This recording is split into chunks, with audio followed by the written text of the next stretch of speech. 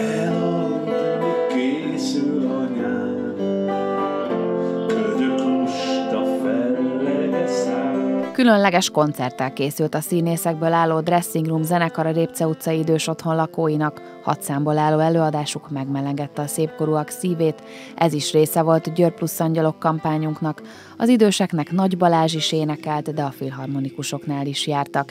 Ez csak néhány abból a rengeteg programból, melyekből az Egyesített Egészségügyi és Szociális Intézmény lakóinak része volt az óévben. Az év elején még az energiaválságot éreztük, meg számolgattunk, ugye rengeteg, rengeteg végig gondolása kellett a tevékenységeinknek, hogy úgy, hogy minden feladatot el tudunk látni, hogyan tudjuk ezt a legracionálisabban és a legköltséghatékonyabban megtenni.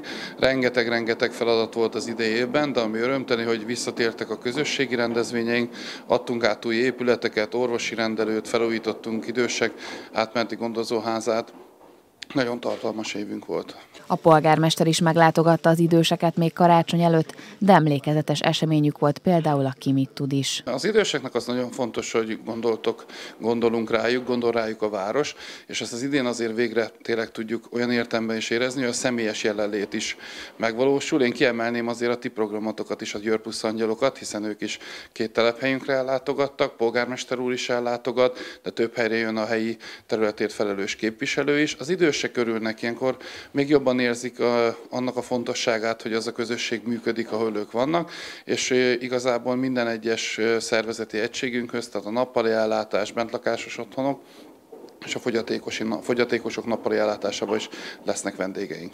A 2023-as év tehát nagyon mozgalmas, munkával és programokkal színesített volt. 2024-ben is folytatják a munkát, ahhoz azonban, hogy a munkaerő is biztosított legyen, fejlődniük is kell. Szerintem a 2024-ben nagyon sok szakmai újítást szeretnénk megvalósulni. Látszanak bizonyos változások az idősekről való gondoskodás területén. Gondolok itt akár a kluboknak a fontosságára, ami inkább egyre jobban eltolódik az irányban, hogy akár speciális ellátásra is képesek legyenek, mint ami jelenleg az otthon utcában működik a demens idősek, vagy hát a demenciával élő idősek nappali ellátásra. Ez hatalmas segítség a, a hozzátartozóknak, hogy abban abban a néhány órában biztonságba tudják a hozzátartozóikat, de természetesen át kell gondolni a tevékenységeinket. Egyre nagyobb szerepet szeretnénk adni az informatikának, ami meg tudja könnyíteni a munkánkat, hiszen továbbra is küzdünk a munkaerőhiányjal, és azt azt gondolom, hogy technológia fejlesztéssel tudjuk orvosolni. Az új évben sem kell, hogy napjaikat a falak között töltsék az idősek, a tél után pedig a szabadban is számos program vár majd rájuk.